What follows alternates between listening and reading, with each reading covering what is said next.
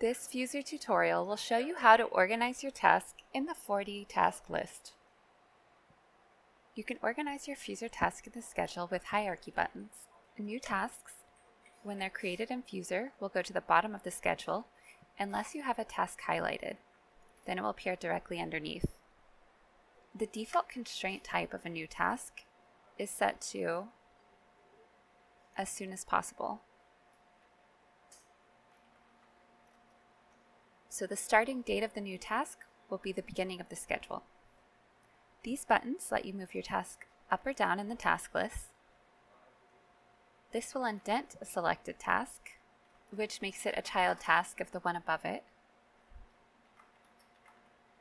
This will outdent the selected task. And you can also collapse or expand task groupings with the plus or minus button here.